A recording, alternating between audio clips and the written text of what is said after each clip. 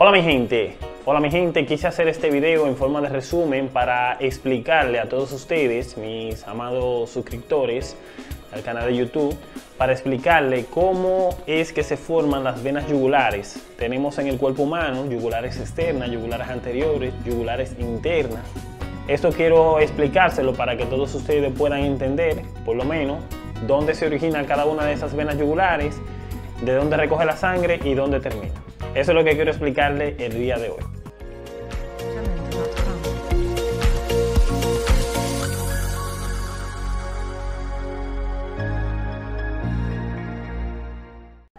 Tenemos que el sistema venoso de la cabeza y el cuello, vamos a decir que ese sistema venoso es un poco complejo y para saberlo hay que saber cómo se forman las venas yugulares a cada nivel. Tenemos en el organismo la vena yugular es interna, que estas son continuaciones del seno sigmoide o seno lateral, que se localiza en la cavidad endocranial. Este seno sigmoide o seno lateral va a terminar a nivel del agujero yugular o agujero rasgado posterior. Desde acá, desde el agujero rasgado posterior, que tiene dos vertientes, una parte anterior y una parte posterior, donde los tres penúltimos pares craneales discurren por este agujero junto con el origen de la vena yugular interna. Esa vena yugular interna, luego de formarse dentro de la cavidad craneal, específicamente en el agujero rasgado posterior o agujero yugular, desde acá va a discurrir a diferentes partes. Esa vena yugular interna tiene un trayecto que desde la base del cráneo hasta llegar a la base del cuello esta se relaciona con diferentes estructuras.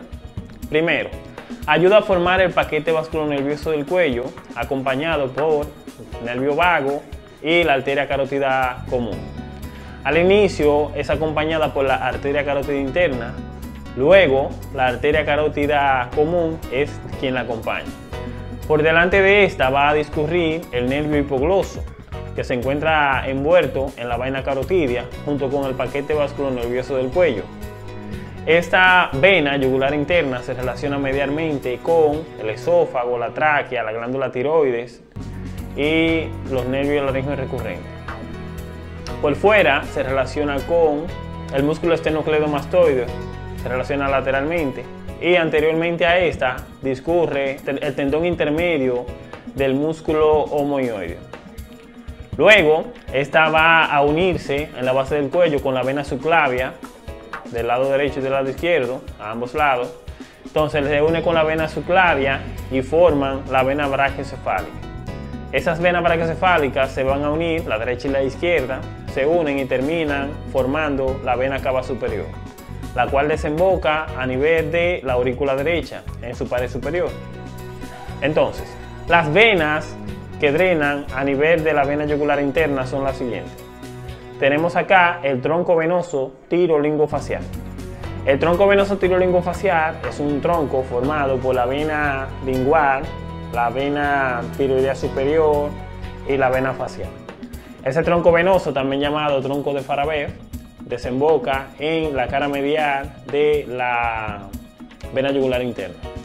También a ese tronco se une la vena faríngea ascendente. Luego, debajo de este tronco venoso tirolingofacial, desemboca la vena tiroidea media. Sigue descendiendo y va a unirse con la vena subclavia. Del lado izquierdo formará un ángulo con la vena subclavia llamado ángulo yugulo-subclavio de Pirogov. Y en este ángulo yugulo-subclavio de Pirogov desemboca el conducto torácico. Eso es muy importante. Luego tenemos las venas yugulares anteriores. Las venas yugulares anteriores se forman a nivel de la región suprayoidea con las venas mentonianas, submentonianas. Desde acá van a descender las dos venas yugulares anteriores y desembocan en la vena. Ese es el origen y la terminación de las venas yugulares anteriores. Esta recoge la sangre de la región anterior del cuello. También tenemos que las venas yugulares externas, externas se van a formar a nivel del espesor de la glándula parótida por la unión de la vena temporal superficial y la vena maxilar interna. Estas venas, recordando que van a formarse un plexo venoso maxilar interno, y ese plexo venoso se va a unir con la vena temporal superficial, la cual recoge la sangre del cuero cabelludo en la región temporal, región parietal y parte de la región occipital. Esta vena va a pasar por delante del trago junto con la arteria temporal superficial y luego penetra medialmente a la rama ascendente de la mandíbula. En el espesor de la glándula parótida, que se encuentra localizada la glándula parótida, por delante del conducto auditivo externo, por detrás de la rama ascendente de la mandíbula y por debajo del arco cigomático. Esa es la localización habitual de la glándula parótida. Esta glándula, recordar que también está atravesada por la arteria carótida externa y el nervio facial. También tenemos acá que esa vena yugular externa va a descender por fuera del músculo esternocleidomastoideo y ese es un punto importante. A través de esa vena se pueden colocar catéteres, catéteres yugulares y esa es la vena que se encuentra superficialmente al músculo esternocleidomastoideo.